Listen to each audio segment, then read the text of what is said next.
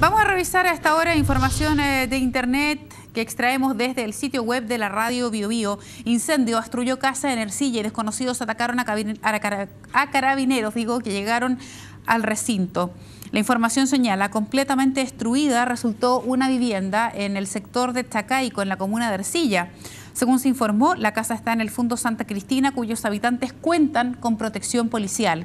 Para acceder al inmueble solo existe un camino vecinal que estaba cortado en al menos cuatro partes, lo que dificultó el acceso de carabineros y bomberos. Al llegar al lugar, la policía fue atacada con objetos contundentes y escopetazos a la distancia sin que algún efectivo resultara con lesiones. El carro de bomberos que concurrió a la emergencia también fue apedreado por lo que debió retirarse por motivos de seguridad. Pese a que no culminan las diligencias, el siniestro tendría carácter absolutamente intencional. Durante la tarde del domingo se recibió un llamado en la subcomisaría de Ercilla anunciando esa situación. Por orden del fiscal de turno Marcelo Herrera concurrió a la Bocar de Cautín y Mayeco. En la primera revisión del lugar y sectores aledaños no se encontró ningún tipo de, de panfleto reivindicatorio.